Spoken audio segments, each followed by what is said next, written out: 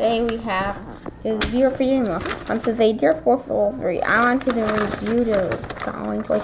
Got Hasbro Family Game Night Toys, Spy Kids, Happy Feet, 7-Eleven Toys, iCarly, Hotel for Dogs, Spiral Chronicles, The Adventures of Momo and Groucho, and here in Terror Movie, X-Men, Wallace and Gromit.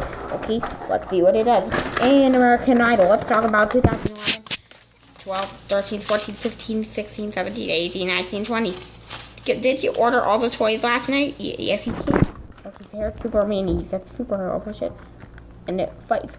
Dancing, I'm. And there you go. Here's Fart Batman and Fart Man. And you can move. Push this one. And there's kicking action.